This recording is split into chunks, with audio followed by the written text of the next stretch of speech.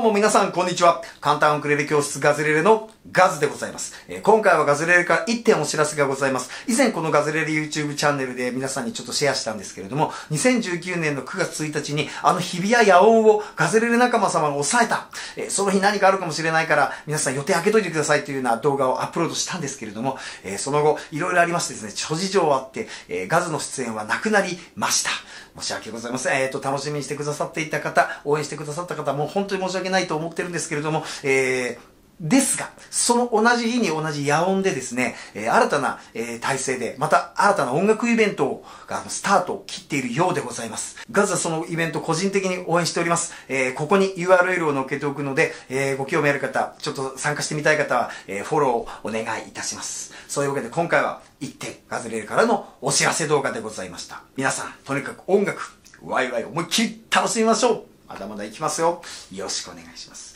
ありがとうございました。さようなら